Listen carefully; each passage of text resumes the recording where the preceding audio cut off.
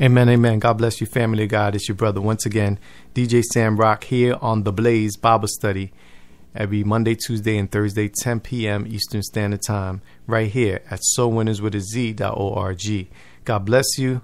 I hope you're having a great week. Amen. This is a, a powerful day for me. Why? Because I'm breathing, I'm alive, and I'm able to teach, preach, um, listen to the Word of God, speak the Word of God, apply the Word of God into my life, and hopefully you will apply, listen, and speak the Word of God into your life as well. Amen. So I'm I'm I'm blessed just to be a part of the kingdom, to be a part of what God is doing in the 21st century, to be a part of everything that's going on. Amen.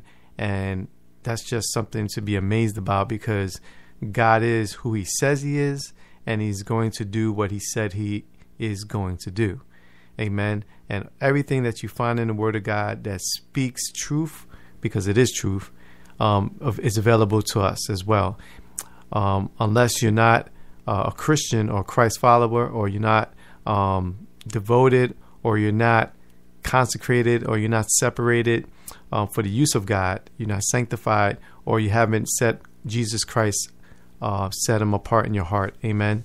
Um, if you're not involved in what the kingdom of God is doing, amen. My question to you right now before we pray is why? And that could just open up a whole lot of things, amen. Um, but the question still stands why? What is it in your life that's keeping you back from a personal relationship with our Lord and Savior Jesus Christ? What is it? Because we could go all day blaming Christians for this and that, and the church and the denominations, and why this and why that but it all boils down to the one person, the Lord Jesus Christ. Why or what is it that's keeping you away from a personal relationship with the Lord Jesus Christ? Amen. Something for you to, you know, just to think about, ponder about. Amen. Just sit back, listen, you know, listen. I was going to say relax and listen at the same time. So re listen. so relax and enjoy what you're going to hear because it's coming from the Word of God. It's powerful, it's alive, it's active. Amen. And it's available to you. So let's pray and come into agreement. So, all the saints that are listening, let's pray for those people who are listening right now who don't have a personal relationship with God, but they're seeking. Amen. And that's a good place to do to be, to seek. Amen. So, saints, join with me in prayer. Father, in the name of Jesus, I thank you for the opportunity to spread your gospel, the good news of your Son, our Lord and Savior Jesus Christ. I pray for a supernatural level of increase tonight, Lord God, that you would do a great new thing in this Bible study, and that many will be touched by your power, and that many will be rescued and saved and really brought out from the darkness into your marvelous light tonight, Lord God. I pray that your Holy Spirit will listen, um, teach, and people will listen to your Holy Spirit, and that you, Lord God, will get the glory, honor, worship, and praise. I pray this all in the matchless name, in the name that's above every other name, in the name of the Lord Jesus Christ. Amen. So tonight we're going to be talking about how to stay on point. How do we stay on point as Christians, as the church body, as the body of Christ? What is the church? What's the mission? How do we stay on point? Because I know the culture is saying one thing about us, and sometimes it's true.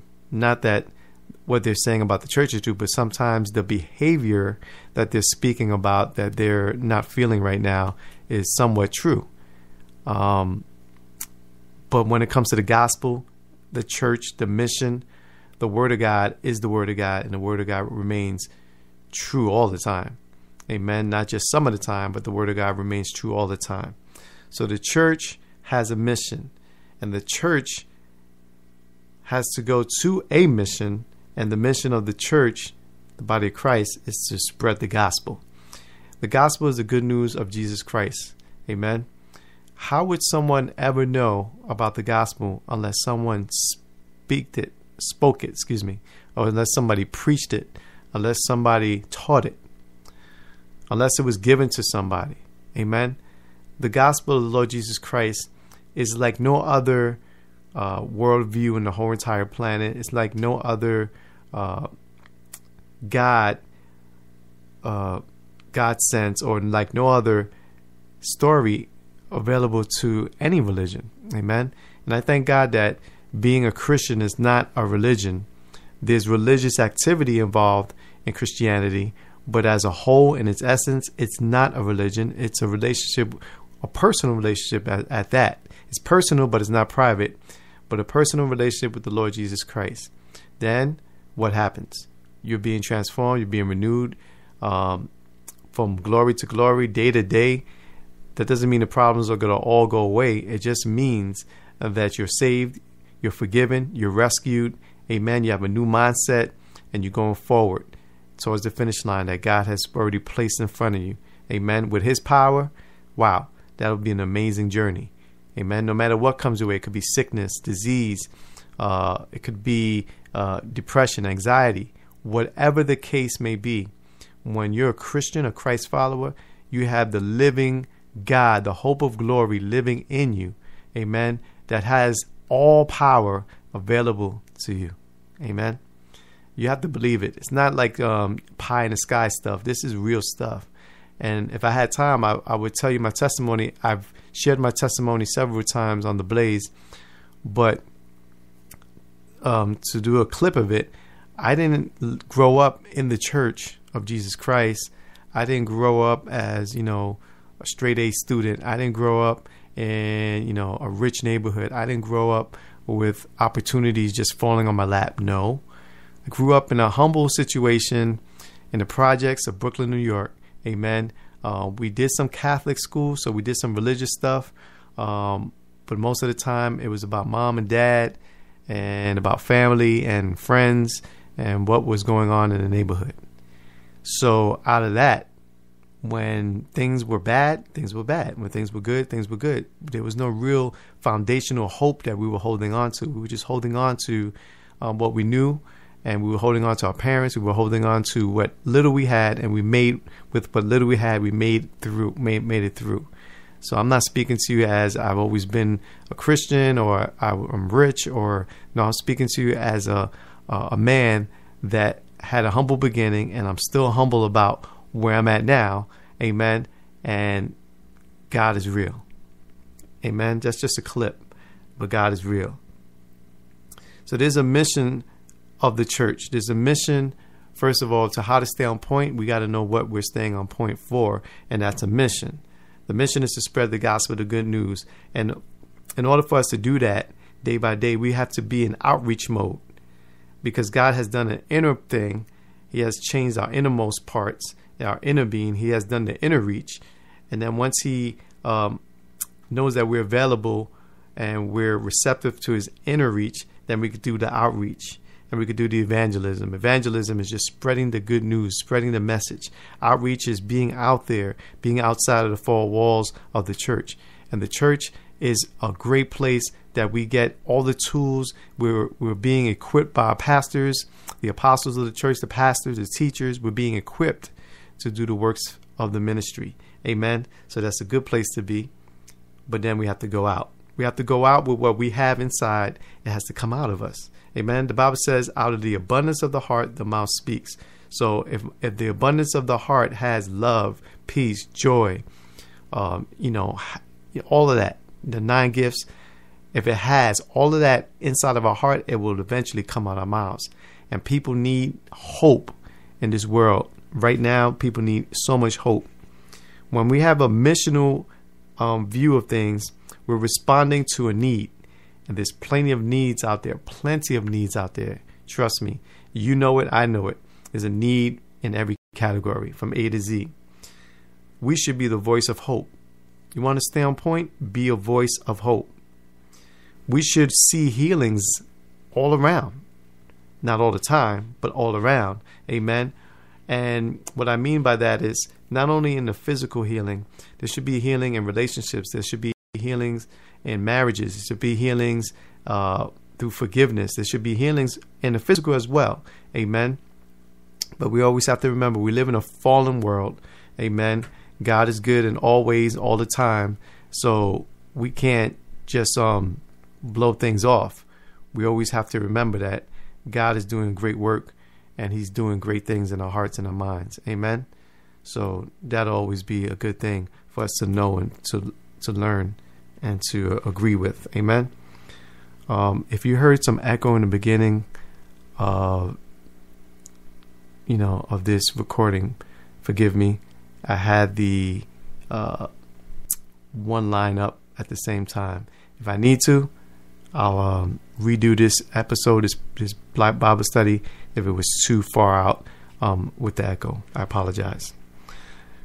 Also, if you have the missionary, the missional view of things and a missional perspective, we have to be accessible. We have to be accessible. We have to be able to live out the gospel. When I mean accessible, I mean we have to be available. I mean, we all have a, I have a busy life. If you look at my calendar, amen, you look at me like I'm nuts because you're like, man, you work full time and you do basically, I say it's part time ministry, but when you look at my calendar, it's another full time thing. So, um, we're all busy. I know I am. But accessibility, amen, um, should be priority. Amen. First to your family.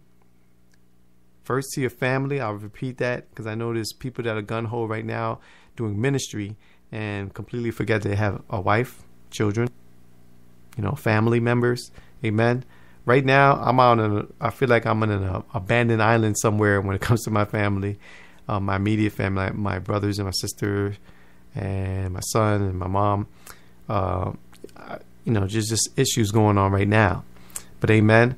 Um, but I'm accessible. I'm available. Um, if they're listening to these Bible studies, they know that I'm doing something in the kingdom, um, but I'm still here. Amen. The great thing about technology and about the internet, about all this that's going on, um, is that um, when I'm long gone, these podcasts will be available for the next generation and the next generation to hear it, unless it's completely wiped off the internet for some odd reason. Amen. So we need to be a voice of hope. We need to uh, promote holistic healing, holistic healing, like total healing. Amen. From body, spirit, mind, everything. And we have to be accessible to stay on point.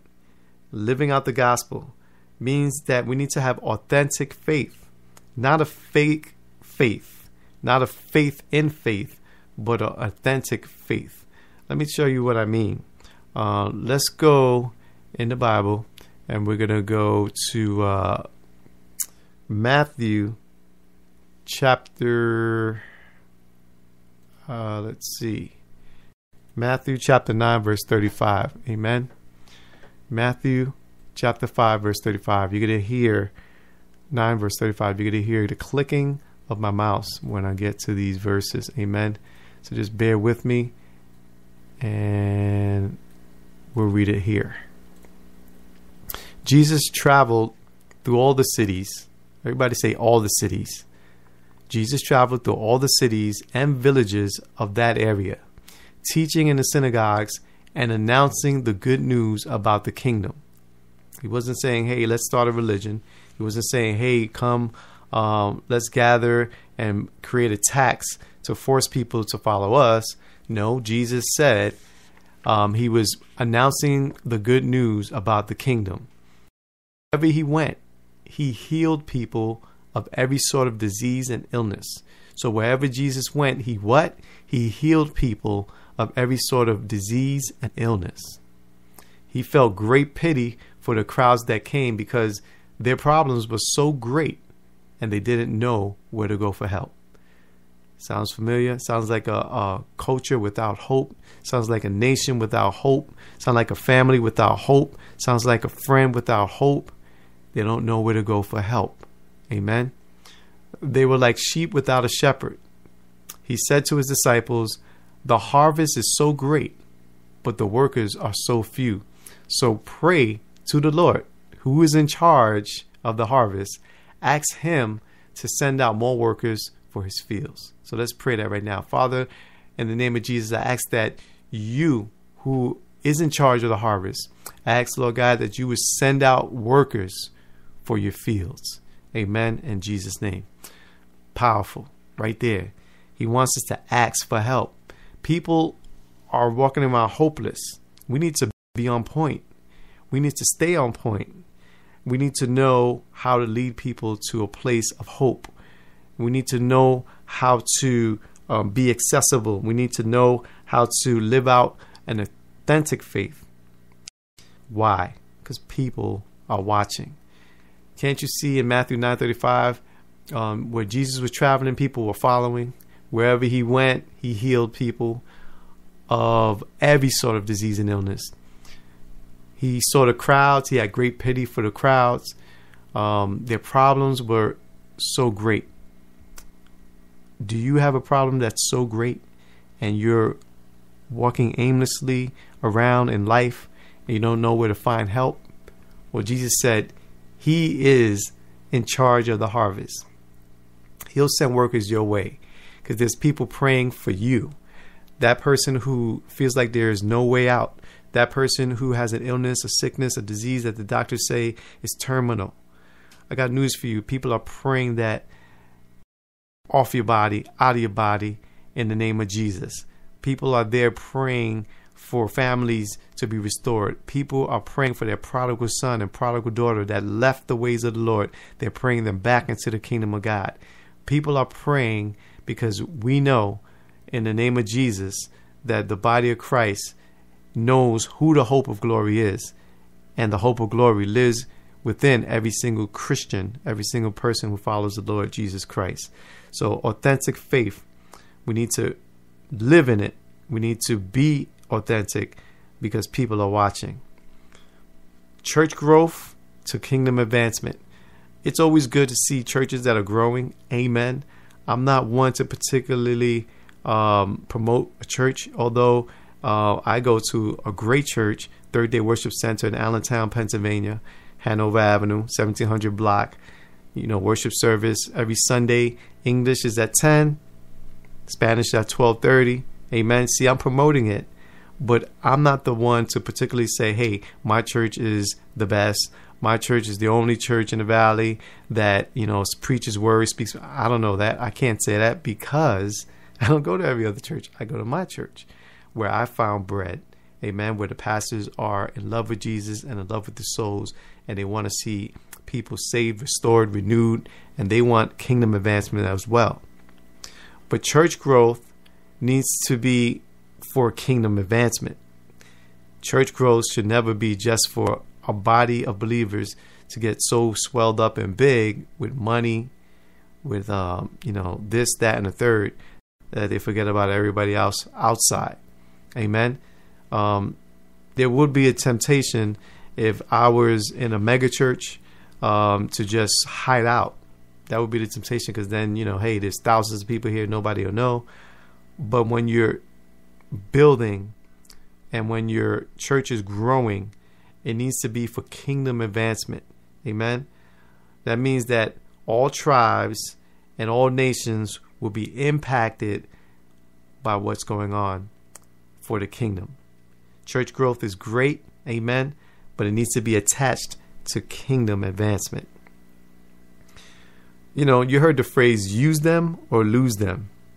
Amen. We need to use every single gift that is offered in the body of Christ, in your church and my church, for kingdom advancement. If you don't use what's in the house, a lot of times you lose what's in the house. Amen. Um, I always have to remind myself that man never qualifies me to do the work of the kingdom. God is the one who qualified me to do the works in the kingdom. Amen. We are to obey our authorities, our leaders. Amen. Absolutely 100%. But if they don't say go and use your gift or your talent, amen, or your ability, if they say don't do it, or if they never recognize it, that doesn't mean that you don't have it. That doesn't mean that you don't do anything. That means they just don't recognize it. Or they may have a check in their spirit like, wait, not right now, because there's issues or there's things in your life that needs to be adjusted or worked through. Amen. That's perfectly fine too. But create a voice and create a platform. Use what you have and create a voice and create a platform. Years ago, when God spoke to me um, through an evangelist, that I was watching a DVD curriculum. Um, the evangelist seemed like he was speaking to me. You ever had those moments? It seems like um, the person uh, that you're watching, is speaking directly to you through the power of the Holy Spirit. Basically, that's what happened with this ministry. Um, I was looking at a DVD curriculum. Uh, the man in the DVD said, use whatever technology, whatever means you can to spread the gospel, whether it be a video, a podcast, or whatever. When he said podcast, I was like, what in the world is a, I didn't even know what a podcast was. Um, I knew it had to do with um, Apple products and, you know, iPhones and all that, but I didn't know, or the Apple store, I didn't know what a podcast necessarily was. So then I looked it up on the internet and I said, whoa, I think I could do that. How much does it cost? And when I found out it was free, I jumped all on that. God dealt with me with some issues beforehand. And then when I was ready, when God said I was ready, amen, I started doing Bible studies right there uh, through my telephone at the time. It sounded incredibly horrible. the quality was not good, but it was a way to create a voice and a platform. And from there, it grew. By the time I abandoned that network because of the sound quality, I wanted better sound quality. By the time it was all said and done, there was over 100,000 listeners. Amen. Listening to a man just doing Bible studies through a phone line. Why? Because people are looking for hope. People want change. They won't admit it, but they want change in their life. I know a lot of people that are well off money financially and seems like they have it all together. You know the picket fence the dog the wife the car the nice house. But when you look in their eyes they're without hope. And they're disappointed. And they're not fulfilled. Because god created a god-sized like distance in your heart that you will never be satisfied with the things of this world because they come and they go and they're circumstantial. When you're doing good and your bank account is good, you're happy. When the bank account is not so good and things are going bad or you're dealing with a health issue, then you're not happy anymore. That's based on circumstance. God wants to give us joy, whether or not we're rich or poor or healthy or sick. That joy never um, goes away. God wants to give us joy and peace. Amen. In this life, not when we're in heaven. He wants to do it now. Because once we're in heaven, praise the Lord, we'll be perfected and we'll have a heavenly body. Um, right now, we have an earth shell to live on this side of eternity. But when we're in heaven, we'll have the heavenly shell to live on that side of eternity, which is, by the way, way longer than what it is now, right? So if I live to be 70 years old, praise the Lord, but in eternity, that's like a a blink of an eye. That's like a blink of an eye. So use what you have. Be more intentional. You want to be on point and stay on point, be more intentional. What exactly do you want to do? And be intentional on doing it. Whether you want to start a small group Bible study, whether you want to learn one on one from the pastors, whether you want to be on an outreach team, if you want to work with the youth, you be intentional of what you want to do. If you want to feed the homeless, so many things, there's so many needs. I could go on and on and on for a whole program, if, and I won't have enough time to remind you of all the needs that are out there. But be more intentional this year, today. Start tonight to be more intentional. Pray more. Amen. To read the scriptures, read the Bible more. Be intentional. Build teams. I know I can't do this alone. Thank God for my wife and for friends, amen, that believe in this ministry. I can't do it alone. So build teams, collaborate. Collaborate doesn't mean that um, you're the boss or the other person. No, just collaborate. Put your talents and gifts together to glorify the Lord, amen, to reach all tribes and all nations. Wow, there's a lot here. We need to start building and empowering others. Can you imagine just being all built up in spirit and truth, amen, and knowing scriptures and, and you know performing miracles and people are coming to Christ? Imagine just building that yourself as a central power, amen. Just to be noted noted for all those things, and yet you never empowered others. That would be a shame, actually. That that wouldn't be too cool, because at the end we're gonna be held responsible, accountable, and God's gonna ask us, "What did you do with the things that I gave you? What did you do with the life that I gave you? Did you reach out to others?" And if you say no, but I did this, I did that, you know, I, I grew. I was the central uh, power here. I don't think that would be too good in front of the Lord Jesus Christ. Amen. Um, when I, if I gain crowns, amen, and you can read this in scripture about the crowns, I'm going to put that crown down at the feet of Jesus. Amen. Um, but that's another topic. Your motto should be everyone plays. Everyone should be involved in what's going on in kingdom advancement. Of course, um, the disclaimer is that you have to be filled with the Holy Spirit to play in the game of life that reaches other people with the eternal promise, the, the eternal life promise of the Lord Jesus Christ. You have to be filled with the Spirit. But everyone should be able to play once they're filled with the Spirit of God, once they're saved, once they're renewed. Amen. And if you're not saved, get in the game. Because sooner or later, amen, you're going to want to be on the winning team. Who wants to be on a losing team all the time? You know, when I used to play basketball, I wasn't always the first pick. Well, when I was younger, I was always the first pick. Now that I'm older, I'm not definitely not the first pick. I'm like the third, fourth. Maybe I don't even get picked. There's been a lot of times I walked off the basketball court, nobody picked me. Amen. So I played it off like I'm still cool, but everybody was like, "Nah, we don't want the old man." but um, I just have that that in me just to be in the game, to get in the game. Amen. Whether I could um, perform or not, uh, perform to other people's standards, it doesn't matter. I want to be in the game. And if it was up to me and I was on a court and whether or not I knew about your skills or not, I would want everyone to play. Create a culture where everyone contributes. Create a culture where everyone contributes. If you go to First Peter, Amen, and um, First Peter chapter 2, verses 1 to 9. And we're going to First Peter chapter 2, verses 1 to 9. And let me just get this here.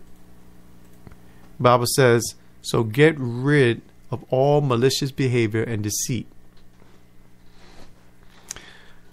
Uh, don't just pretend to be good. Be done with hypocrisy and jealousy and backstabbing. You must crave pure spiritual milk so that you can grow into the fullness of your salvation. Cry out, cry out for this nourishment as a baby cries for milk, now that you have had a taste of the Lord's kindness. Verse 4 Come to Christ, who is the living cornerstone of God's temple. He was rejected by the people, but he is precious to God who chose him. You ever felt rejected for your faith in Christ?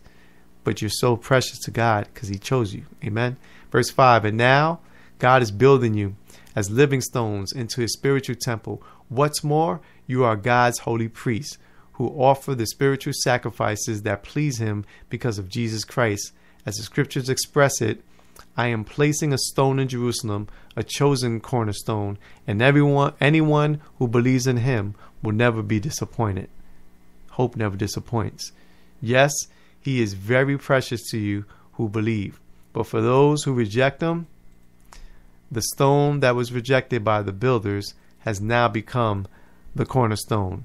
Verse 8 And the scripture also says, He is the stone that makes people stumble, the rock that will make them all fall. Wow. They stumble because they do not listen to God's word or obey it, and so they meet the fate that has been planned for them. Verse 9 But you are not like that, for you are a chosen people, you are a kingdom of priests, God's holy nation, his very own possession. This is so you can show others the goodness of God, for he called you out of the darkness into his wonderful light. Praise the Lord. We need to create that kind of culture in the body of Christ to advance the kingdom. If people see that, amen, they see that activated in our lives, they're going to want what we have. And what we have is the living hope, the hope of glory. We have Jesus Christ as Lord and Savior and protector, guardian. He guides, He provides. He He's still God. Amen. And there's so much more. But I ran out of time. God bless you. God keep you. Hope you got something out of this. How to stay on point in this 21st century culture. Amen. Just do what the word says, right? Practice it, believe it, activate it, apply it. Until the next time, remember always God is good. Peace.